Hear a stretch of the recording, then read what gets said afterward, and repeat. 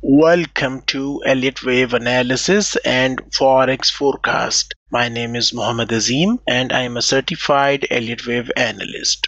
This video is brought to you by ReadyForex.com. Risk disclaimer Press the subscribe button and hit the bell icon to never miss upcoming videos.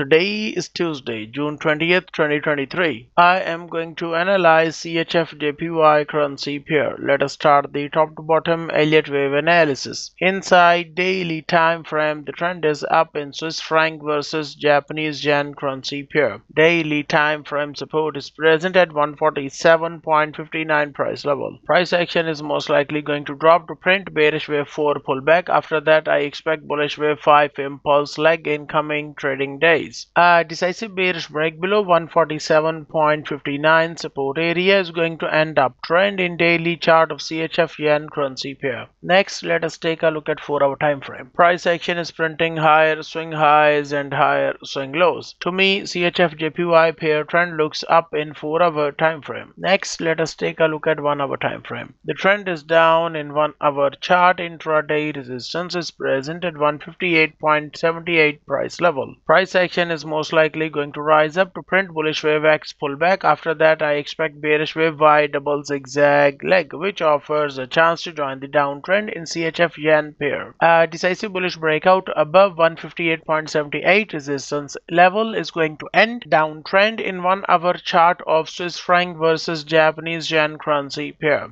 To be more specific, the red color highlighted area offers a selling opportunity which is the previous wave B of one lesser degree. Take note you must always trade with money management rules to control risk. If you have any questions, feel free to contact me.